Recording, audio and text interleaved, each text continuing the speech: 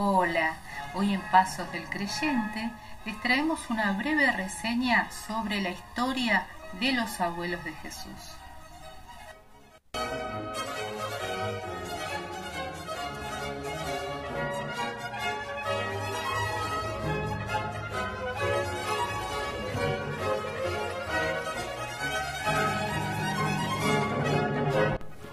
Cada 26 de julio, la Iglesia Católica celebra la conmemoración en honor de San Joaquín y Santa Ana, los padres de la Virgen María y los abuelos de Jesús.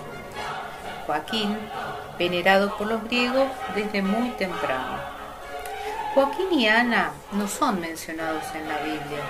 Según cuenta el protoevangelio de Santiago, Joaquín y Ana vivían en Nazaret eran una pareja rica y piadosa, pero no tenían hijos, situación que acongojaba a ambos.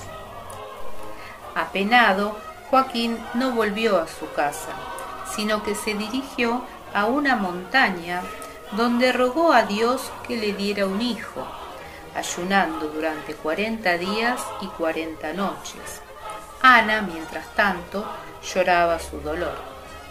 Entonces un ángel se les apareció simultáneamente, anunciando que sus ruegos habían sido escuchados y que concebirían un hijo. Amaba a Dios sinceramente y se sometió a su santa voluntad en todos los sufrimientos, como fue su esterilidad por veinte años. Según cuenta la tradición, el protoevangelio del apóstol Santiago narra que los vecinos de San Joaquín se burlaban de él porque no tenía hijos. Su festividad en el rito romano es el 26 de julio, fruto de los cambios del Concilio Vaticano II.